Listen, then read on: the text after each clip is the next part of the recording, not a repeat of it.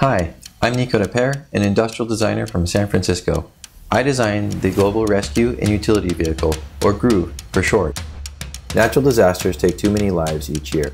Existing rescue technology is inefficient, and there is still no single vehicle made specifically for disaster relief. We need one vehicle that can cross land, sea, and sky. Ants, Swiss Army knives, and Legos inspired the GRUV's modular and flexible design. A 747 could load 15 GRUVs in less than an hour. Amphibious and special wheel technology allows GRUV to cross any terrain to get to a crisis zone.